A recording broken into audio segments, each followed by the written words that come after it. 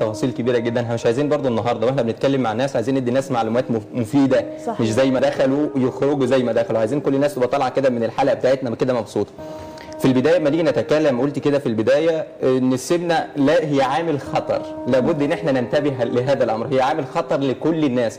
بيجي لنا ناس كتيرة جدا في العيادات وأغلبهم بتوع مشاكل العظام المختلفة. الناس اللي بتعاني من مشاكل العظام المختلفة سواء كان arthritis أو sprain أو امسكي كده مشكلة مشكلة في العظام كده وأجي أسألها. سؤال سؤال وجواب متكرر لكل واحد فيهم. آه انت آه ب- بتتابع مع دكتور عظام؟ آه كنت بتابع مع دكتور عظام. قعدت قد إيه؟ ست شهور أو سنة. منهم ست شهور ومنهم سنة. طب آه، عملت إيه؟ أنا خدت حقن موضعيه خدت حاجات كتير علشان آه، عشان مشاكل العظام المختلفة.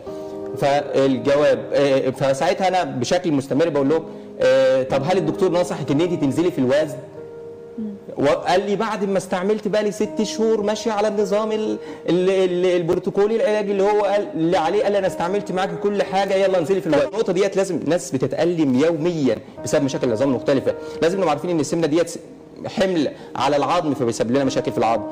حمل على القلب فبيسبب لنا مشاكل في القلب. أغلب الناس بلا استثناء لو عندها مشكلة في السمنة السمنة سبب لاكثر من 50 مرض ينتهي بالموت.